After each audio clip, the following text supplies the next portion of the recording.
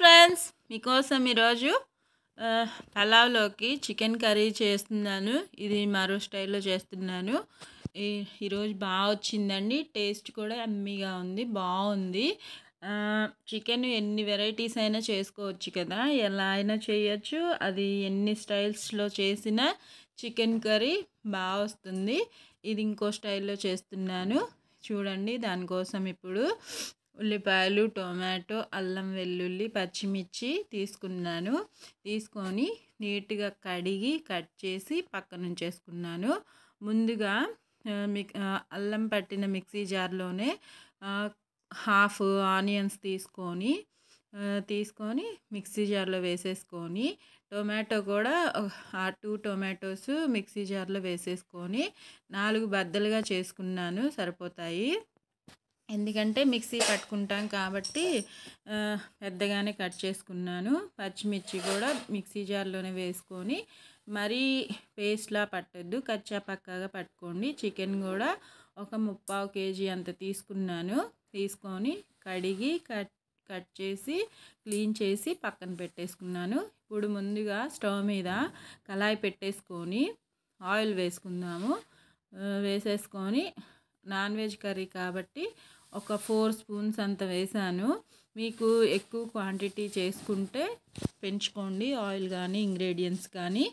నేనైతే ఇంత వేస్తున్నాను. ఫోర్ స్పూన్స్ అంతా సరిపోతుంది. ఫ్లేమ్ని హైలోనే పెట్టుకొని ముందుగా మనం కట్ చేసుకున్న ఆనియన్స్ని వేసేసుకుంటున్నాను. వేసుకొని దాంట్లో ఇప్పుడు జీలకర్ర వేస్తున్నాను. వన్ స్పూన్ అంత జీలకర్ర సరిపోతుంది. వేసేసుకొని హై ఫ్లేమ్లోనే ఫ్రై చేసుకుందాము. లైట్ బ్రౌన్ కలర్ వస్తే సరిపోతుంది. ఎక్కువగా అవసరం లేదు. అది ఒక్క ఫైవ్ ఫైవ్ మినిట్స్లో ఈజీగానే ఫ్రై అయిపోతుందన్నమాట.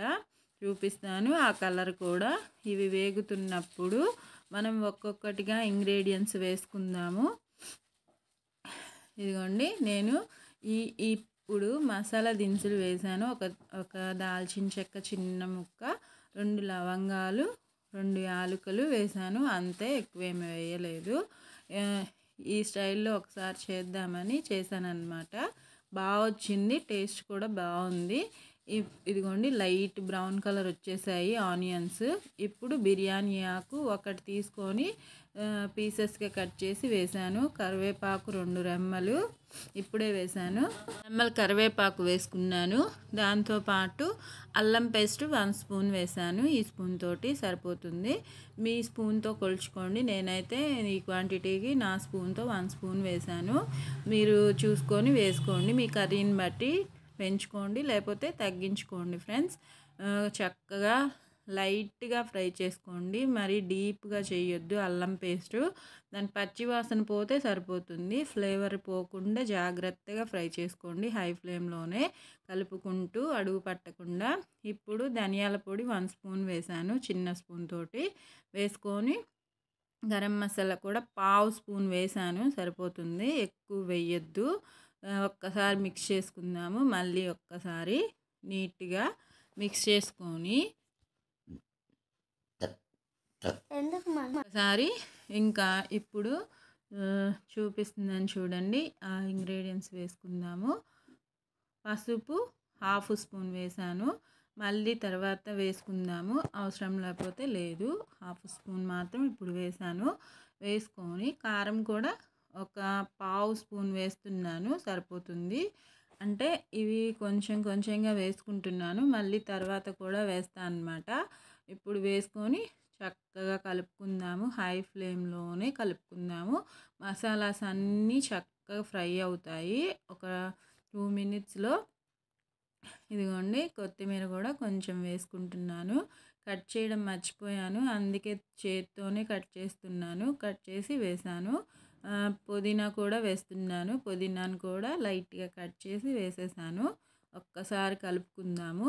కలిపే పుదీనా ఫ్లేవరు చాలా బాగుంటుంది చికెన్ కర్రీలో. ఒక్కసారి ట్రై చేయండి వేసి. ఫ్లేవర్ కూడా భలే ఉంటుంది. నచ్చని వాళ్ళు వేసుకొని అవసరం లేదు. స్కిప్ చేసేయండి. కడిగి పెట్టుకున్న చికెన్ని ఇప్పుడు వేసేసుకుందాము. చికెన్ వేసి ఉప్పు వేసుకుందాము ఇప్పుడు. చికెన్కి సరిపడా ఉప్పు ఇప్పుడే వేసేస్తున్నాను. ఒక పెద్ద స్పూన్ అంత వేసాను. నేను చేత్తోనే వేసాను. మీరు కావాలంటే స్పూన్తో కొలుచుకోండి ఫ్రెండ్స్. చక్కగా కలిపేసుకొని మూత పెట్టి లో ఫ్లేమ్లోకి మార్చుకొని ఫిఫ్టీన్ మినిట్స్ కదిలించకుండా ఉడికించుకోండి. ఫిఫ్టీన్ మినిట్స్ కదిలించొద్దు. లో ఫ్లేమ్లో పెట్టాక.